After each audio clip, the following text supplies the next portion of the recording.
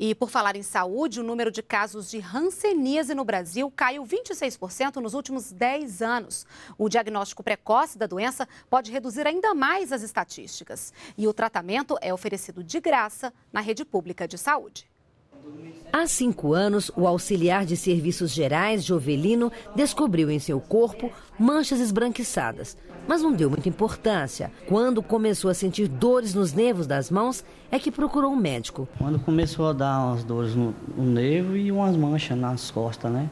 Aí eu fui no hospital, o médico me encaminhou para o postinho, aí eles deram o diagnóstico, que eu estava com hanseníase. A hanseníase é uma doença infecciosa causada por bactéria e transmitida de pessoa para pessoa através da respiração. O primeiro sintoma da doença são manchas esbranquiçadas, avermelhadas ou amarronzadas que aparecem em qualquer parte do corpo.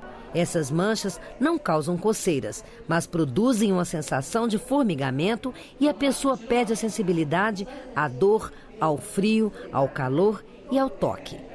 A doença tem cura e o tratamento é de graça na rede pública de saúde.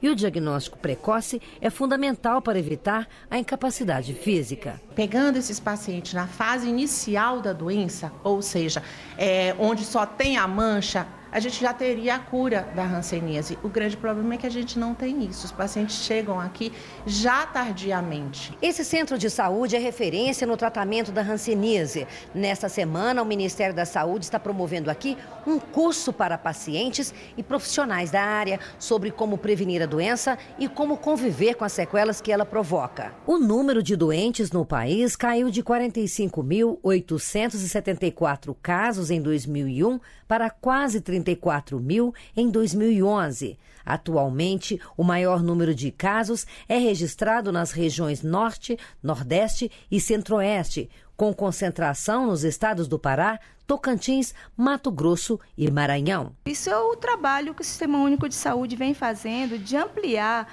a cobertura de diagnóstico e tratamento. Isso é um trabalho conjunto, é, da, da, vamos dizer, do setor saúde e do setor social também. O compromisso do Ministério da Saúde é o de eliminar a hanseníase como problema de saúde pública até 2015. Temos uma série de ações né, que nós vamos focalizar essas áreas onde estão é, treinamento, capacitação de equipes, aporte de recurso financeiro e a mobilização para a busca ativa de casos.